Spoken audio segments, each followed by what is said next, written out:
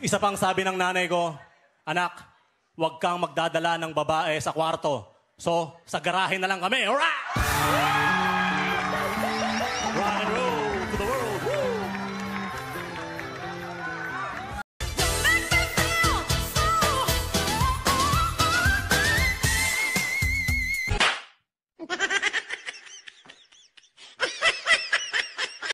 Lights. Camera.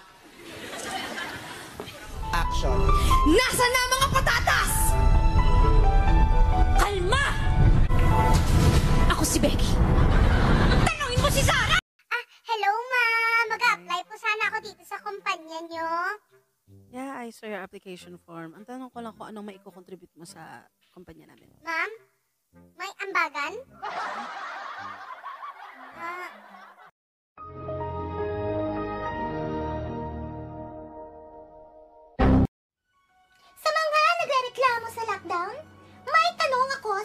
Ano ang gusto nyo? Isang buwang walang kita? O isang buwan ka na lang makikita? Mamili ka na! Sumayaw lahat ng walang hadiah!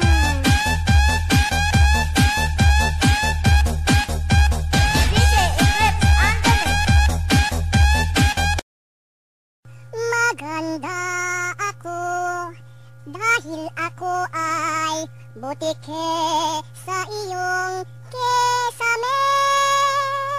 La la la la ang Miss Police to, huwag kang kikilos na masama. Bakit po? Pag pumalag ka, puputokan kita.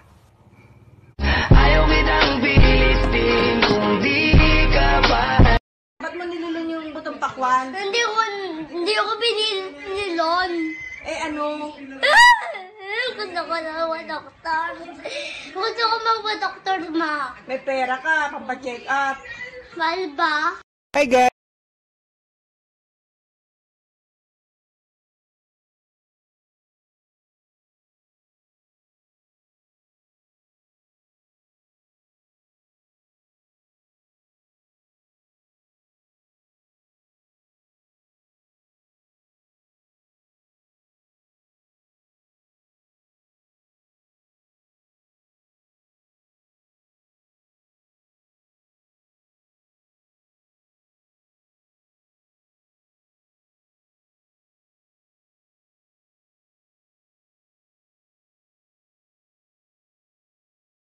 Your girl